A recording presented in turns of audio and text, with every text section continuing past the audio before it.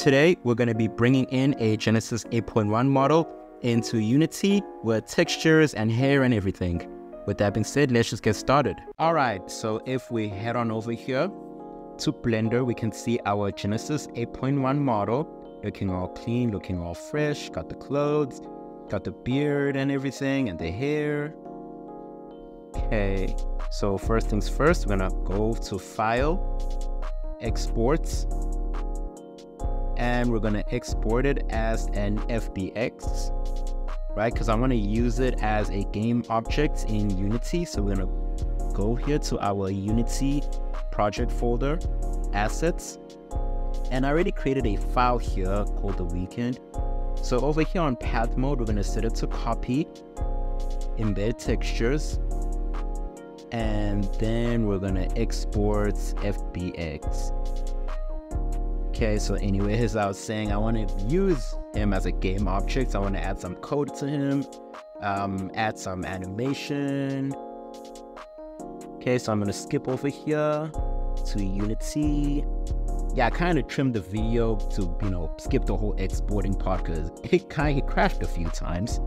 So as you can see over here, ooh, okay, looks like Slenderman.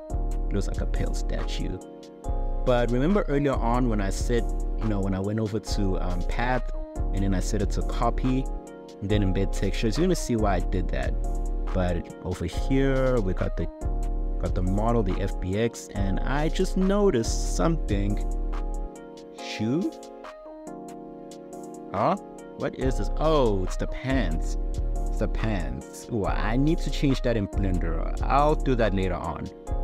But for now, let's just focus on getting the textures. I'm gonna click here to materials, extract textures.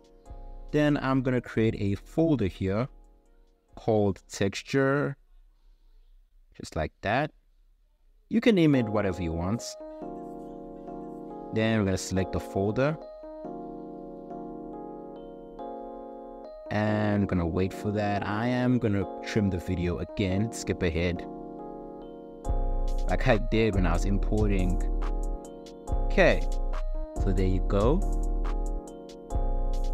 Got the textures all in from Blender. Hmm. Oh, the shoe texture is still bugging out though. Okay, I'm, I'm just gonna like I'm just gonna change this.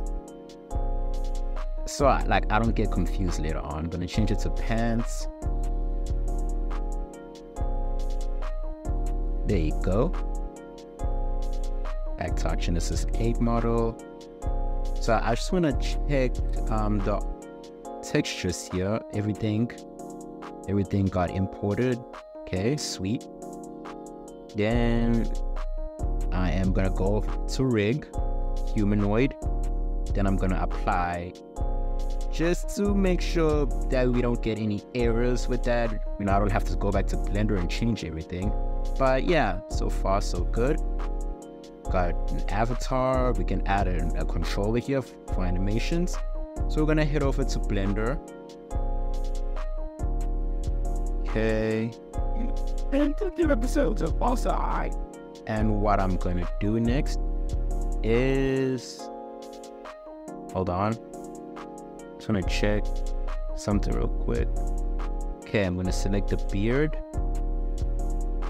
and I'm going to remove the armature, the subdivision, and the shrink wrap. You, you, you're going to see later on why I'm doing this. I know it seems weird, but bear with me.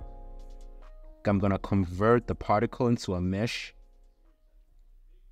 Okay. I'm going to do the same thing for the hair. Delete the armature, shrink wrap, um, subdivision, surface, then convert it to a mesh.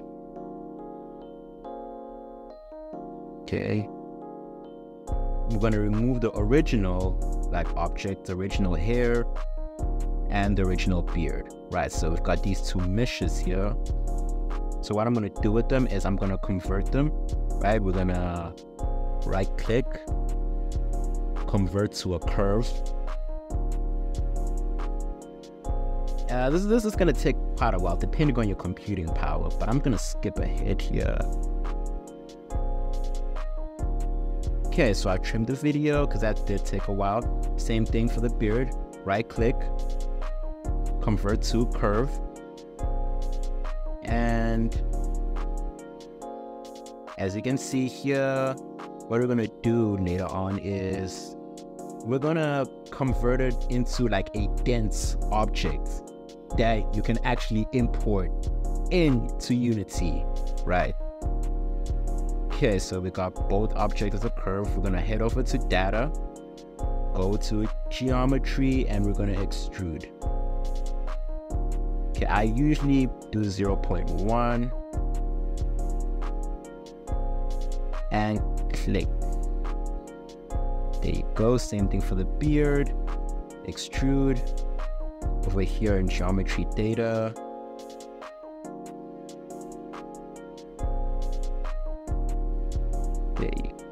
go. So now we've got both curves here that have like um, data here. I'm gonna right click, convert to a mesh. We're gonna do that with both objects. Okay, with the beard, convert to a mesh.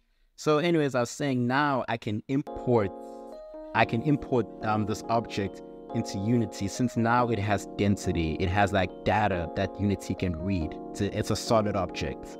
What we're gonna do now is we're gonna go to material. I'm already here at material and I'm gonna set it to black and increase the roughness. The man was spice from across the raptor. Sorry, hold on. Okay, same thing for the hair. Go to material,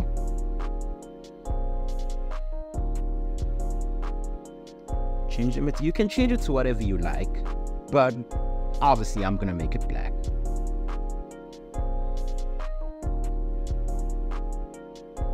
Set the roughness high, and there you go. Even though there are solid objects now that we can read into Unity, we can't yet import it because we want to connect both these objects back to the armature. So I'm going to select the beard shift, shift select the beard. Then I'm going to shift select the armature, any bone, any bone as long as part of the armature. Then control P, amateur, um, amateur, armature deform. Okay, with empty groups. There you go. Same thing here. Shift select with the hair and the bone armature deform with empty groups. That way now it is a child of the armature, right? I'm gonna rename beard.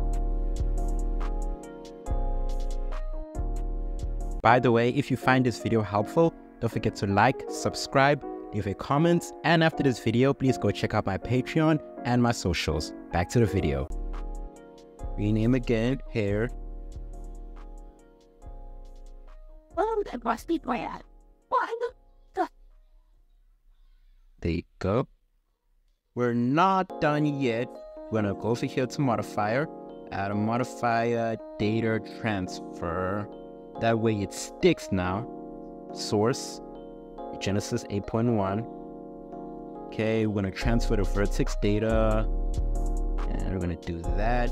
So again, that way when the, you know, Genesis point one 8.1 model moves, the hair moves along with it, right? We're gonna do the same thing for the beard. Add the modifier, data transfer. Okay, the source is gonna be the 8.1 um, model. Okay, transfer the vertex data. Okay, and there you go. We're gonna click that. So now when we have an animation playing, the beard and the hair is not going to be like out of place or just floating. It's actually going to stick to the object.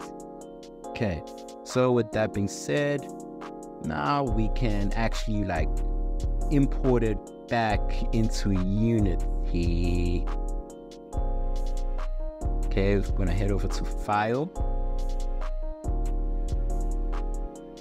Export FBX, By the way, um, you don't need to do anything with the path mode. Just leave it. Just just leave it as it is. Okay. Back to the Unity file. Assets. The weekend. Yes, we're gonna replace this model. You don't need to do anything there. It's already good. Export FBX. Okay. Now we're waiting for that. But we are gonna run into a problem though, as you know, with the hair. Um, so what I'm telling you in advance, you might want to get like a double a standard double-sided shader.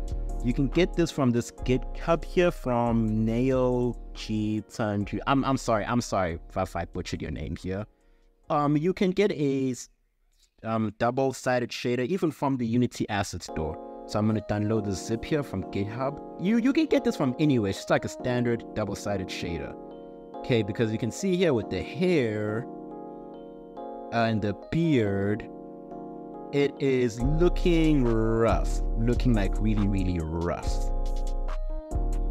I don't know why it's like that, but it's, it's, it's just like that. Even with the shoe, like the, the object is like sort of odd here. Ooh. Yeah, same thing. So this is where our double-sided shader is going to kick in. Okay, so I've already imported it. I trimmed, you know, the importing the weekend model back into Unity. I downloaded the, the standard double-sided shader.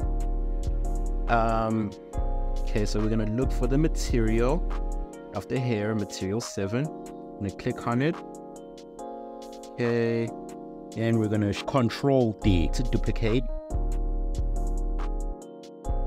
Okay, and then we're gonna click here to the um, shader type, and we're gonna switch it to the standard double-sided shader and we're gonna apply that back into the hair and boom ooh oh no no no no no no no no no no no no no no to the hair to the hair to the hair to the hair there you go it's sort of like when you have like a plane and on one side it's just like not showing like gonna do the same thing for the beard okay we're gonna do the same thing for the shoe because I don't know why do they like import as plain objects, but it's, it's whatever. You know, we, we got the material here. Okay. Again, control D to duplicate. Okay, we're gonna change to standard to the double shader. And as I said, you can get a double shader literally like anywhere, even from the Unity assets for free. And we're gonna do the same thing here. So as you can see that, well, that solves that. Okay, we got them both as double, as standard double-sided shaders. Okay, so what I'm gonna do next is I wanna animate, I wanna animate this object. Okay. So I'm just gonna set up a scene real quick with the cameras.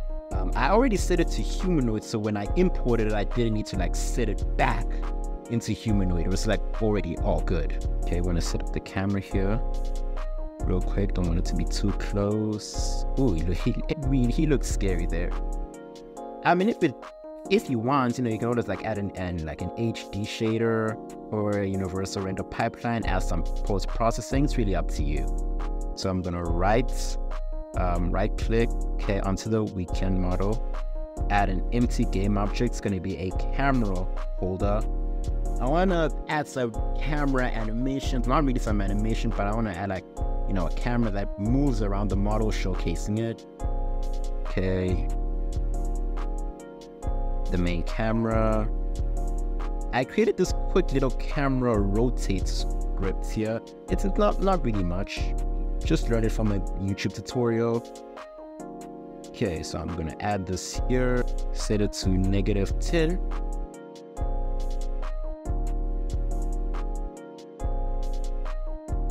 Um, you can copy the script here if you want.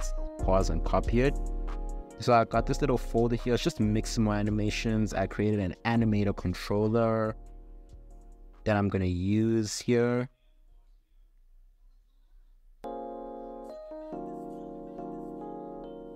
standing idle animation. Okay, I set it to humanoid earlier on. You can add any any animation, any animator controller. Yeah, we're gonna add this animation controller. Simple idle animation. And let's see. Play mode.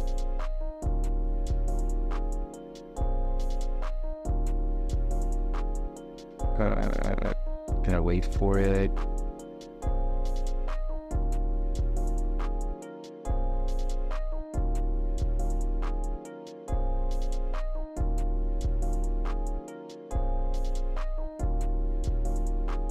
Sorry, sorry.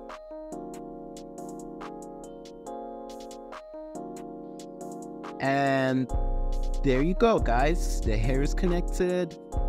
Everything is connected. The beard is connected. And that is how you transfer a Genesis 8 or 8.1 model into Unity.